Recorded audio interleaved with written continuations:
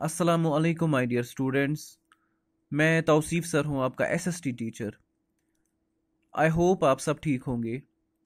आज हम स्टार्ट करने जा रहे हैं यूनिट फ़र्स्ट का चैप्टर नंबर वन हिस्ट्री से what where how and when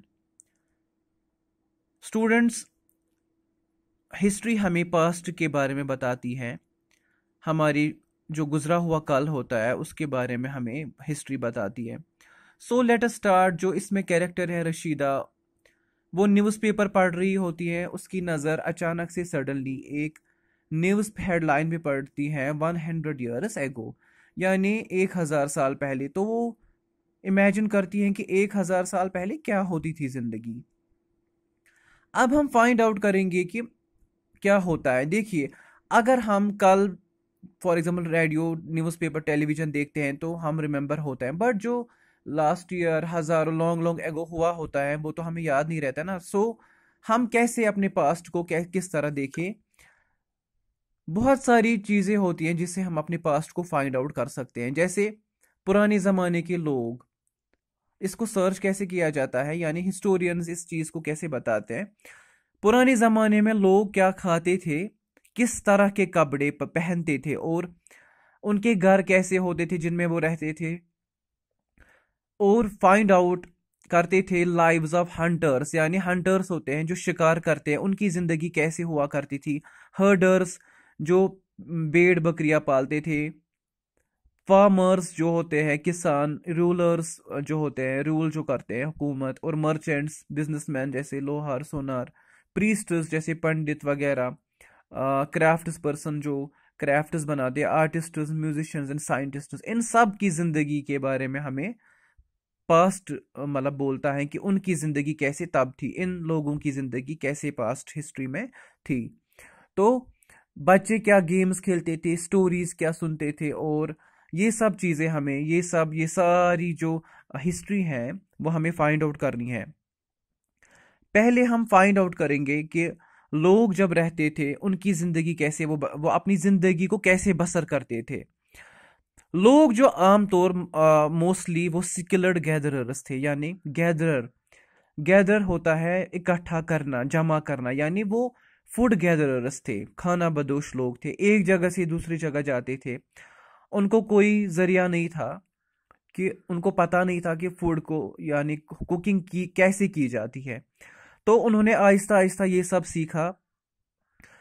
तो मैं आपको मैप एक दिखाऊँगा जिस पे मैं आपको कुछ आ, जैसे नर्मदा रिवर है, ये जो मैप है, इस पे हमें ये फाइंड आउट करना है कि मतलब जो पहले ज़माने में ये जो रिवर था, जैसे नर्मदा रिवर, जो यहाँ पे लोकेशन है उसकी, पहले सिटीज़ जो है फ़र्स्ट फ्लोरिश नर्मदा पे ही हुई है।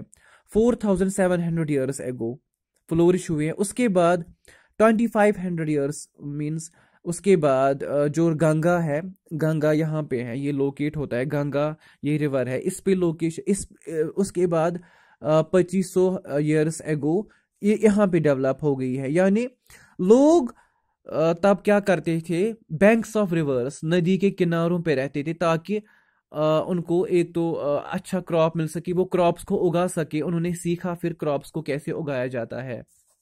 और लोगों को अब फ़ूड गैदरिंग फ़ूड गैदर्स थे लोग तब फ़ूड गैदर गैदर करते थे। उनको पता था कि मतलब जो हमें सराउंडिंग्स में हमारे पास फॉरेस्ट्स है, वो वहाँ से कलेक्ट फ्रूट्स करते थे और ताकि वो अपना फ़ूड प्रोड्यूस कर सके। वो जानवरों को भी हंट करते थे, उनको मारते थे और खाते थे। लोग ज़्यादातर इन बैंक्स ऑफ़ रिवर्स पे रहते थे। जो मैंने आपको अभी बताया नर्मदा रिवर जो क्यों रहते थे? क्योंकि वहाँ का जो ये जो, जो रिवर की मतलब पानी का बहाव था वहाँ पे ताकि वो उन बैंक्स पे अपने क्रॉप्स भी उगा सके वो और उन्होंने सीखा एक नया तरीका फ्रूट प्रोडक्ट फ़ूड कैसे प्रोड्यूस किया जाता है। क्योंकि वो लोग जानते थे कि ये फॉरेस्ट जो है वास्ट वेल्थ है इनमें इन प्लांट्स में हमारे पास जो भी हमें मिलता है, इन्हीं प्लांट से मिलेगा, चाहे रूट्स वो कलेक्ट करते थे, इन फ्रूट्स करते थे कलेक्ट ताकि वो अपना ज़िंदगी का बसर कर सके, खा पी सके।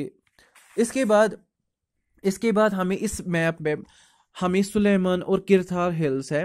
ये सुलेमान है और ये किरतार हिल्स हैं, जो आजकल पाकिस्तान साइड से नॉर्थ वेस्ट इंडिया मतलब हम इसको पहले बोलते थे, आज ये पाकिस्तान की तरफ़ है, ये साइड ये पाकिस्तान है आज। नॉर्थ वेस्ट साइड से हमें तो सबसे पहले ये जो एरिया है, इस एरिया में ही वुमेन जो पहले इंसान ने मैन एंड वुमेन ने पहली बार began to grow crop such as wheat and barley eight thousand years ago इंसान ने पहली बार क्रॉप्स इसी एरिया में, इन्हीं हिल्स में किरथार एंड सुलेमान हिल्स पे ही नॉर्थ वेस्ट साइड पे ही क्रॉप्स उगाना ये सीखा। वीट और बैरली एट थाउज़ेंड ईयर्स एगो और जो ये बाकी जो पीपल थे, उन्होंने रेयरिंग की। मतलब पालना स्टार्ट किया। शीप गोट और कैटल्स ये जो मवेशी होते थे उनके पास, जो विलेजेस में रहते थे लोग, उन्होंने सीखा कि कैसे हम भेड़ बकरियों को पाले, यानी रेयरिंग कैसे करें। उन, उनको मतलब ये डोमेस्टिकेट कैसे करे। इसके बाद जो ये जो रेयरिंग हुई, ये गैरो हिल्स में है।